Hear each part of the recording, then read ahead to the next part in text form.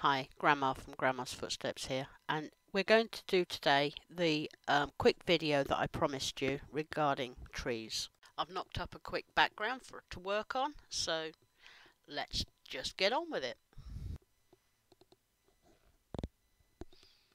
These are the two mixed fibres that I've decided to use for the trees. The lighter coloured one will make a tree further in the background. Um, it's gives more depth to your picture if you use lighter colours in the background and also smaller items. So um, I shall start to make the first tree. I just take off a section that is about the width of the tree trunk that I want and just pull it off the uh, bat here and I smooth it out a little bit. Um, and put that to one, the rest of it to one side. So all we do is we decide where we're going to do the tree, and um, I decided that was a little bit too thick, so I removed some. But we decide where we're going to put our tree. You see, I'm smoothing out the fibres here, and I'm going to put the tree here at this hill with the bottom of it at the bottom of the hill. So I put it down and you sort of smooth it out. You hold it tight between your finger and your thumb, so it's going to give a nice um, trunk to the tree, it's going to look good. And what you do is you just needle felt a small area up which is basically what you're going to want the length of the trunk of your tree to be um, before any branches come out. Okay, and once you've done that, you take the bottom. Now I like to trim mine off, but so that it comes out in the right place. But you trim you take your bottom and you spread it out and that actually makes the bottom of the tree a little bit wider and also gives you the effect of tree roots. When we do the second tree you'll see more um, more detailed roots um, because it's closer to the front so um, you're going to see more detail there. So I'm just needle felting now the around the roots um, just to hold it down. At this point I don't needle felt too hard um, because if I want to change something it's a lot easier if you haven't um, needle felted it in too much. And now what we do is we separate out the fibres um, and this will be the start of our branches. So as you can see it has the added advantage of making it automatically thinner or, or narrower because the branches get thinner as they go up the tree.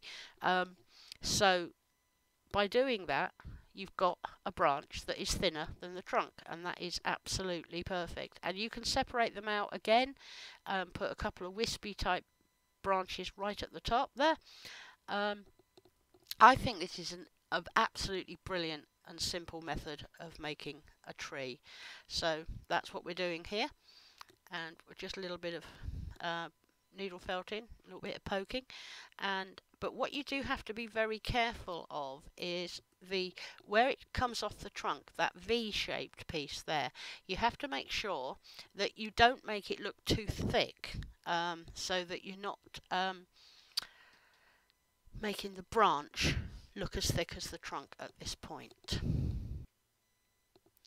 So you just continue separating out your fibres um, and adding branches and you put them in different directions. Some of them you can do straight, some of them you can do a bit bent, because um, trees grow in all sorts of different directions, um, and they very rarely come out dead straight from a tree. It looks odd if they do, but um, that's that center section there is the continuation of the the main trunk so I do like that to go fairly straight up um, but and also here you'll see that I've brought back in one of the bits that we've separated out a bit so that the branches don't come off at the same place on both sides because it looks it just looks too symmetrical and it looks odd trees are not technically symmetrical. So, um, and you just continue to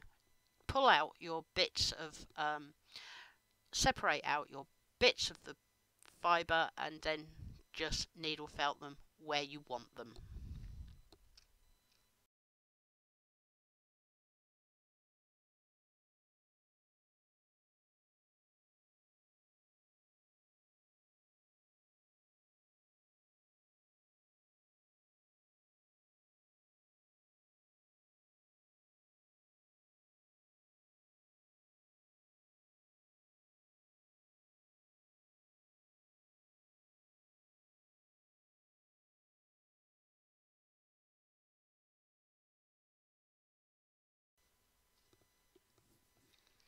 And now I'm just cutting off the excess that's um, over the edge of the picture. Um, and I put these bits to one side on my uh, mat here because they're very useful um, when you want to add um, some extra bits to your tree.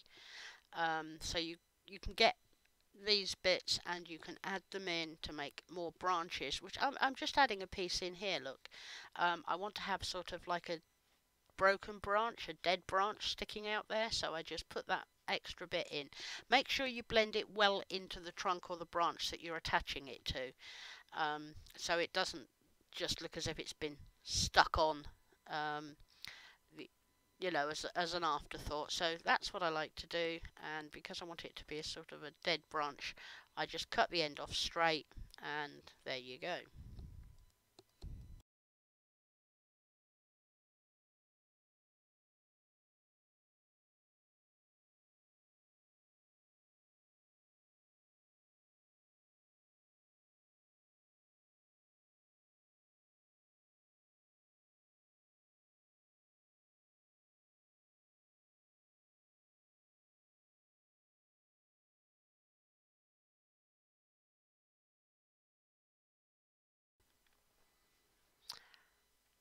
And now I've picked a piece of the darker um, mixed fibres here to make the large tree that's going on this side. Um, remember don't go too close to the edge because um, we have actually got the piece of felt slightly bigger than the picture that we the size of the picture we want it to end up at. So if you go too close to the edge you're going to lose some okay? In this case I'm making a, a greetings card an A5 size greetings card. So um, once you put it into the aperture you're going to lose some of the outside edges and you don't really want to, to lose part of your tree. So I'm just doing the trunk as we have done before and um, I will I've cut it off and now I'm going to do the the roots. Now you'll see as I separate them out um, it's causing like little um, almost like little caves in there. There you can see now that I've spread them out so that they look more like roots and you get this sort of lovely dark um, part in there which looks as if it's somewhere that a little squirrel or something could live. So.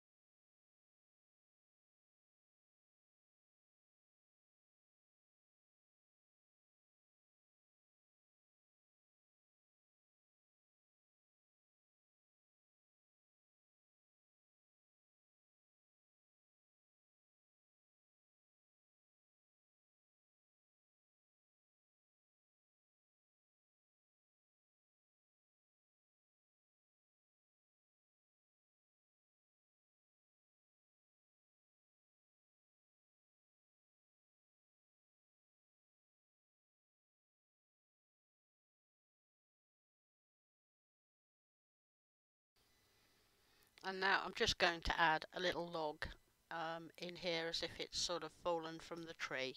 Um, I end up being not very happy with it and I, I will probably remove it but um, at the moment. I'm just showing you. You can you can use this uh, method for making logs and things as well.